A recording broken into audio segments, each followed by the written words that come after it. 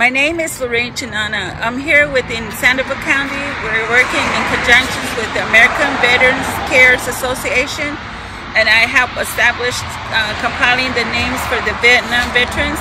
I also have a stone engraved in front of this memorial, which I was very happy to be a part of the donations that were um, being brought to our county to establish and keep the monument going with cleaning and other recognition with the Vietnam veterans.